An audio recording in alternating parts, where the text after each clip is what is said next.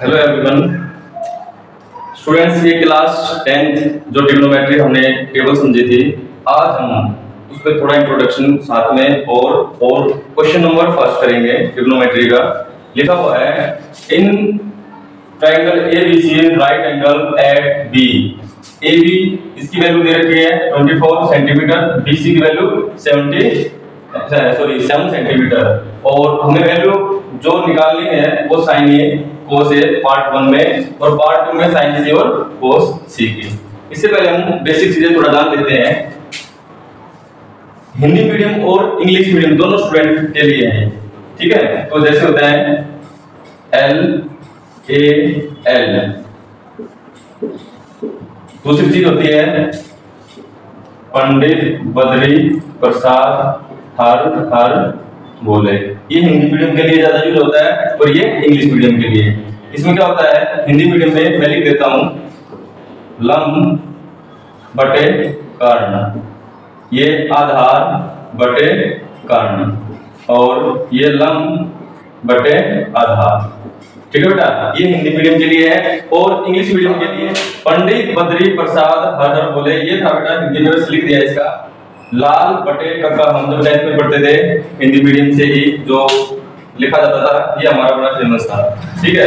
Lump बटे कर्ण, आधार बटे कर्ण और लम बटे आधार। ठीक है? परपेंडिकुलर हाइपोटेनिस बेस हाइपोटेनिस और परपेंडिकुलर बेस अब ये लिखते कैसे हैं?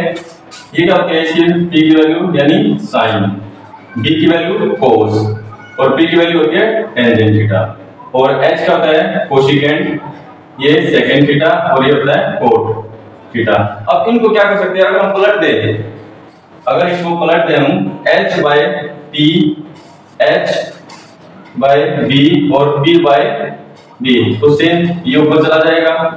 कोशिकेंट नीचे आ जाएगा साइन ये ऊपर आ गया सेकेंड नीचे आ गया कोस ऊपर चला गया यहाँ पे परपेंडिकुलर यहाँ पे ये हमारा ऊपर जाके कोट और ये होगा हमारा टेंजेंट ठीक है? पलट भी सकते हैं हम इसको। अगर हम इसको पलटना चाहे तो इसको पलट के हम लिख सकते हैं। Sine theta cos theta tangent theta cosecant theta secant theta cot theta इसको वापस लिख सकते हैं। Cosecant secant cot sine cos और टेंजेंट थीटा ठीक है बेटा? अब हम क्वेश्चन पे आते हैं। राइट एंगल बना लेते हैं। ए बी सी, ये होता है 90 डिग्री क्या होता है 90 डिग्री का। अब इसमें देखो वैल्यू क्या क्या रखी है ए बी की वैल्यू कितनी दी है? 24 बी सी हमारा ये है 7 और ए सी यानी हमें हिंदी में कर्ण और हाइपोटेनिस निकालने ये होता हमारा बी ये होता हमारा बी और ये होता है एच तो बाय पाइथागोरस में। इसके द्वारा लिख लेंगे बाय पाइथा थ्योरम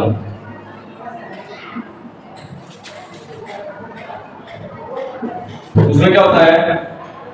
H का स्क्वायर p का स्क्वायर प्लस d का स्क्वायर तो h हमारी इसमें दी नहीं है। तो p की वैल्यू हमारी कितनी रखी है? परपेंडिकुलर की? हमारी दी है 24 b की वैल्यू कितनी दी है?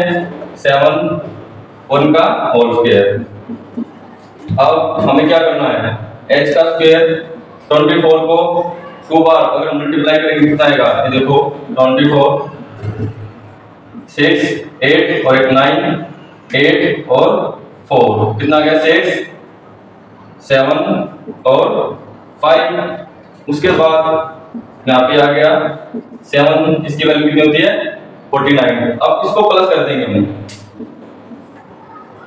5 सात सेवन और फोर कितने होते हैं? इलेवन और टू और ये सिक्स कितना आ गया? ये इसकी वैल्यू आ गई.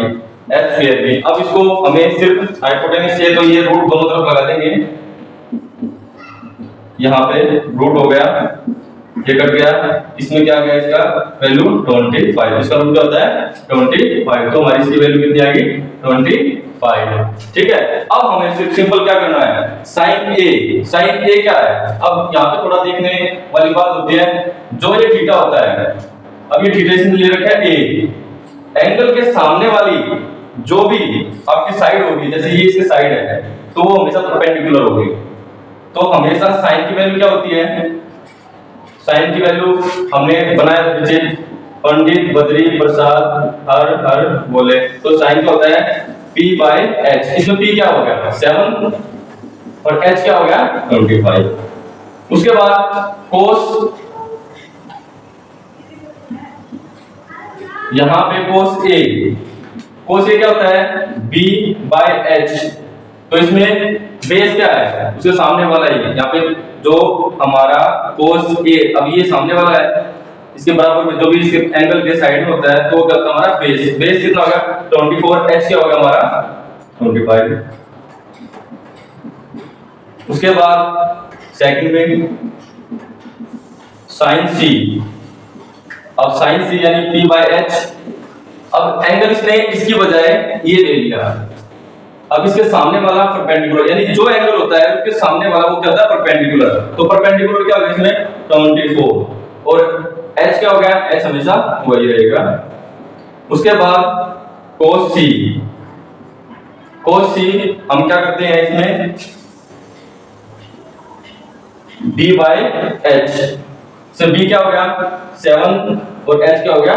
ट्वेंटी फाइव दोबारा रिपीट कर लेते हैं एक बार। इन्होंने एक ट्रायंगल दे रखा है जिसमें उसके टू साइड हमें दी हुई है गिवन है ट्वेंटी फोर और सेवन हमें निकालनी क्या है? ए सी तो बाई पाइथागोरस से हमने इसको निकाल दिया और सबसे इंपॉर्टेंट चीज़ क्या होती है, जहाँ पे भी ये एंगल होता है, उसके सामने से जो भी भुजा उसके सामने होगी, वो परपेंडिकुलर होगा। बच्चे कई बार क्या करते हैं सर परपेंडिकुलर तो ये था, आपने सेम लिख दिया, गलत हो गया। नहीं भाई, अब की बार एंगल ये है साइन ए है, यानी इसके सामने है तो 24 ये हमारा परपेंडिकुलर ये हमारा परपेंडिकुलर होगा, ये नहीं होगा। ठीक है बेटा? Thank you so much